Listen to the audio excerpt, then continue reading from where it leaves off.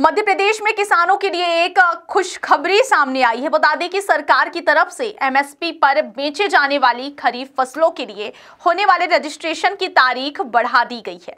ये नए नियम प्रदेश के छह जिलों पर लागू होंगे, जिनमें रीवा, सतना, सिंगरौली, दमोह, नर्मदापुरम और बैतूल शामिल है।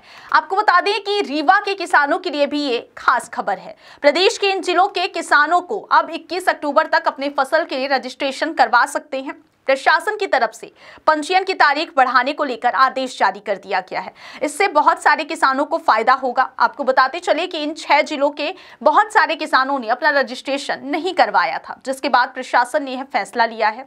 इस फैसले से इन जिलों के किसानों को बहुत अधिक फ़ायदा होगा। आपको बता दें कि इससे पहले खरीफ फ़सलों के रजिस्ट्रेशन के लिए अंतिम तारीख चौदह अक्टूबर तक की थी, लेकिन विभाग का सर्वर डाउन होने से बहुत सारे किसान अपना रजिस्ट्रेशन नहीं करवा पा रहे थे। इसी समस्या को देखते हुए विभाग की तरफ़ से रीवा, सतना, सिंगरौली, दमोह, नर्मदापुरम और बैतूल के किसानों के लिए रजिस्ट्रेशन की तारीख बढ़ाने का फैसला लिया गया।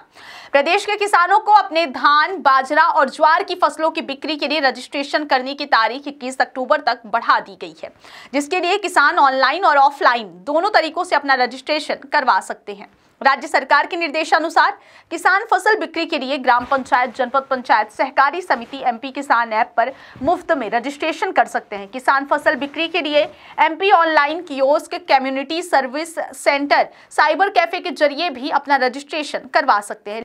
लेकिन यहाँ पर उन्हें पचास रुपए फ़ीस के रूप में देनी होगी। फ़सल को एमएसपी पर बेचने के लिए किसानों को भूमि, ज़मीन के दस्तावेज़, आधार कार्ड और फ़ोटो पहचान पत्र के साथ ही बैंक पासबुक डिटेल्स भी देनी होंगी।